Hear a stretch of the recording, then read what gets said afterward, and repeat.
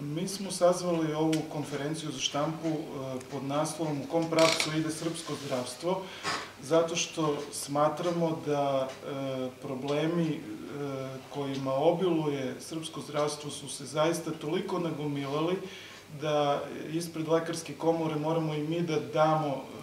neku reč i da pokušamo da damo svoj doprinos u rešavanju tih problema da istovremeno imamo i jednu absurdnu situaciju da imamo veliki broj nezapošljenih mladih lekara na birovu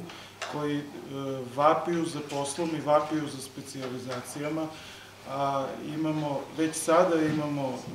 deficit lekara,